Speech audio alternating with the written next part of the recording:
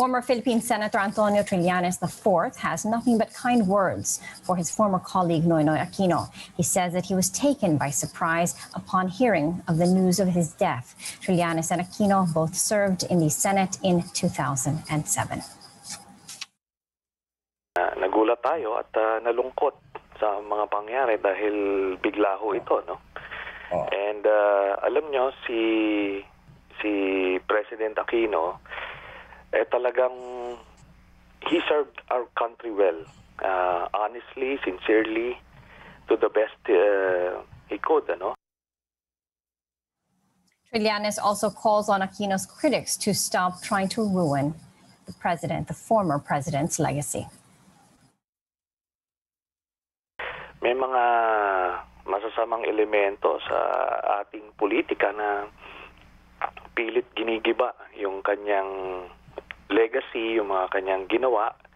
Mm. Alam niyo, hindi nagnakaw itong presidenteng ito. He lived up to the Aquino name nung nanilbihan siya.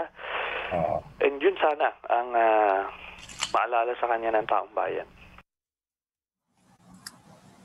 Tributes and farewells are pouring in following the death of former President Noynoy Aquino. Foreign Affairs Secretary Teodoro Locsin Jr. poured his grief out on Twitter. He called the former president sea green incorruptible, brave under armed ta- attack, and indifferent to power and all of its trappings.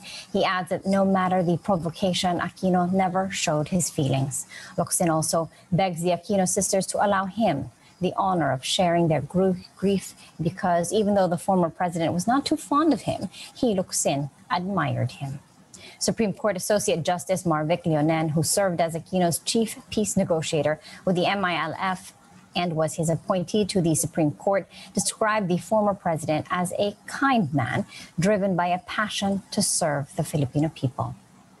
For Senate President Vicente Sotto III, no matter one's political affiliation, when a former president passes away, the whole country mourns. He also ordered the Philippine flag at the Senate complex to be raised to half mast in honor of former President Aquino.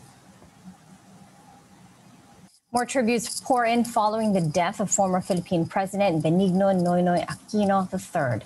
Former Senator Loren Legarda thanks Aquino for the firm leadership, hard work, and integrity. She adds more than those, more than that, she will remember him as a kind and thoughtful childhood friend. Senator Imee Marcos says that beyond politics and public acrimony, she knew that the former president was a kind and simple soul. Marcos and Aquino were colleagues in Congress from 1998 to 2007. The two family names have been entangled in Philippine politics since the EDSA People Power Revolution that ousted former President Ferdinand Marcos and installed Cory Aquino as his successor. Multiple sources close to the family have confirmed that former Philippine President Benigno Noynoy Aquino III has passed away. There are no details yet on the cause. Aquino, President Rodrigo Duterte's predecessor, served as the country's 15th president from 2010 to 2016. The Aquino administration was known for its trademark Daang Matuwid philosophy or its anti-corruption campaign. PNoy, as he was often called, also served as a senator from 2007 to 2010. He was also a congressman for almost 10 years and the House Deputy Speaker in 2004. He was the son of Senator Benigno Ninoy Aquino Jr. and former President Corazon Cory Aquino. Both are considered to be icons of democracy for their role in toppling the Marcos dictatorship back in the 80s. It was his mother, Cory, who replaced Ferdinand Marcos after his ouster following the EDSA revolution, a movement that became known globally as the People Power Movement, the most peaceful revolution. Back in 1986, Noynoy Aquino led a mostly private life after his term ended in 2010.